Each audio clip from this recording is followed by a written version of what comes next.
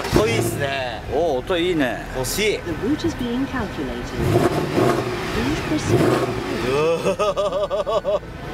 CO2 吐き出してますいいよ。はい CO2 出して。おお 街中でもホイールスピンしてます。ESP 切れよ。よ ESP がいけないです男だったなあ 危ないですよ。危ない危ない暴れん坊になっちゃいますから。もう ESP にわらをもわらをつかむ気持つち？つかむ思いで。いやーやっぱ C クラスのボディに6.3リッターの V8 積んで457馬力と61.2キロですからものすごいですね。学ぶはい。ああダメダメダメ ESP のスイッチ切るぞやめてくださいませやめてくださいませ危ない危ない危ない危ないスピンしちゃいますスピンしちゃいますよ危ないですよ切るよはいはいはいはい怖え危ない危ないあこれ完全にオフになっちゃった危ない危ないああなんだこれね3段階なんだよ今度のあそうですよね ESP が3段階やってノーマルこれをこれオンだろはいでこれが ESP スポーツ。はい。スポーツはあ本当だ。スポーツはちょっとドリフトさせてくるんだよ ちょっとやってみ？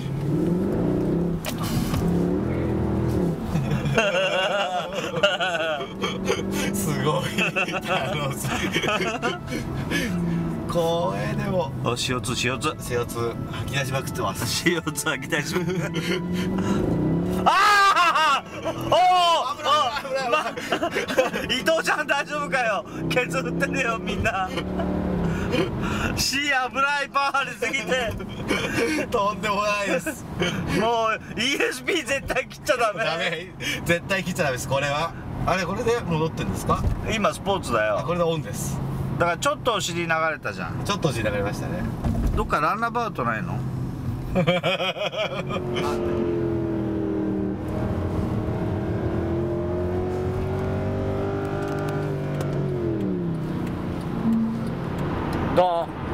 19インチなので乗り心地いいですね。横浜のアドバンスポーツと言ってるんですけれども。しかしこの加速はやばいっすよ。あの LS600H とかなんかんって感じですよね。これ走らせちゃうと。全然ねやっぱガソリンエンジンボーボー燃えてる感が違いますよね。やっぱファンツー CO2 だな。パンツ CO2 パンツ CO2 まさに。やっぱ CO2 排出量でかいと気持ちいい。気持ちいい。本音が出ちゃった。でもね片や TSI みたいにはい。CO2 が少なくて気持ちいい車もあるしなあるっていうことですよね、うんまあ決して知的じゃないけどな この車は。でもこのおバカ加減がいいよね。お若がいいです。学ぶ。はい。ディーゼルなんか買わないで。やっぱり AMG かね。やっぱね ディーゼルじゃないですよ。やっぱファンツー CO2 だな。パンツ CO2 ですよ。シートいいね。シートいい。おお CT3 が RS についていこうとしてます。ス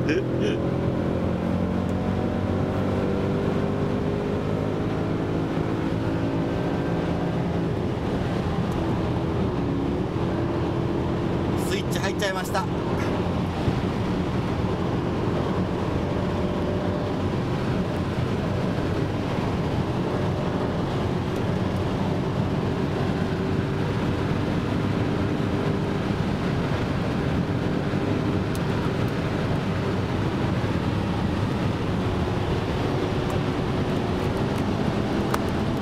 あリミッターだよ畜生。なんだよリミッターなきゃポルシェついてけんのに。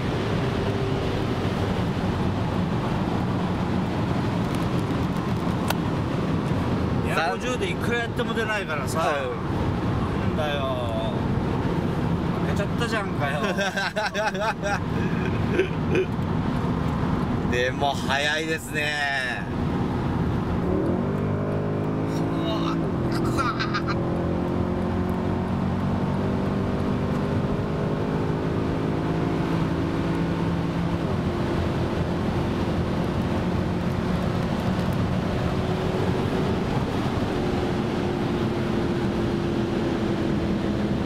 清水さん今回あの C63AMG はですね ESP を3段階の ESP つけたじゃないですか。この辺りについてちょっとどう感じるかというお話をいただきたいんですけれども。まあ最近のトレンドだよね、はい。BMW がもともと DSC という、はい。まあ、メルセデスとも ESP と同じものを持ってましたが、はい。えー一つ一段階こうちょっと遊ばしてくれる DTC っていうのをつけて、うん。まあ、最終的にはオフまで持ち込む、うんまあ、その3段階が違うんですけど、はい。でメルセデスのあの昨日エンジニアが言ってたんだけども、うん。あの完全オフにはならないんだよねメルセデスの場合は。なるほど。ブレーキ踏むとブレーキングではあのオフの状態でもうん。ESP が介入するので、うんうん。まあ、そこはメルセデスはちょっと安全はねうん。譲れないみたいなことを言ってましたね。なるほど。はい。でもねそうは言ってもあの実際、えーポルシェなんかも完全オフにしても ABS が働くとうん。オンになるっていう部分では、うん。あいけない今のところ。あのそのボッシュのロジックとしては持ってるから、なるほど。うん。まあ、その辺の違いはあのありますが、はい。まあ、いずれにしてもこうちょっと ESP スポーツっていうものを作ったのは、うん。まあ、今までこう徹底的にメルセデスってこう安全思想が強くて、うん。えー楽しく走らせる部分においてはちょっと保守的だったうん。メーカーなんですね、うん。でそれがあの ESP スポーツみたいな ESP っていうその安全装置をうん。スポーツに使うというね、うんまあ、新しいこう考え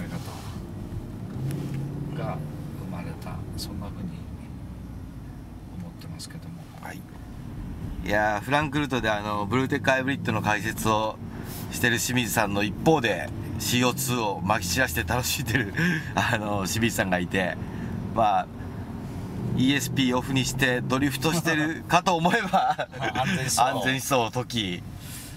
だからさ結局安全と楽しさ、うん。で環境と楽しさ、うん。だからつまり安全性環境楽しさっていうね、うん。この3つの中できれいごと言うと安全と環境って言えるけど、うん。でも人間の持ってる本性うん。欲望。はやっぱり CO2 ぶちまけること、うん。でもなんかそれ言うとなんかね誤解されて、うん。こういろんな人からねうん。苦情のメールが来そうなんだけど、はいはいはい。でもねその人間の持ってる本本性の欲望っていう部分を、はいぱり蓋することはできないんだよ。そうですね。無理やり抑え込んでもしょうがないですもんね。そう。でその抑圧すればするほどそこから解放されたいと思うから。だからやっぱり人間が持ってるそのジキルとハイドっていうかね、うん。二面性。っうん。ていう部分をやっぱり自分で認めないといけないし、うん。だからその楽しさをうん次の世代も持続させたいからうん。安全環境を一生懸命やってるっていうのも本音だしね、なるほど。うん、だから本当にブルーテックハイブリッドとか HCCI エンジンみたいに興味を持って、うん。えー本当にその CO2 削減が大事だと思ってる清水和夫と、うん。その 380g の AMG6.3 リッターの V8 でねえリッター4キロでガソリンぶちまけてアウトバーンで楽しんでるえ清水和夫も同一人物なのよ。ってことですよね。うん。それが。で両方とも面白いんだこれが。ブルーテックハイブリッドを考えることも面白いし、うん。AMG 乗ることも面白いし、うん。だから今年はなんかカーブザヤでもう畜生 AMG に入れちまおうかな。あれどこだったっけ？まっすぐですね。あメルセデスのカーブ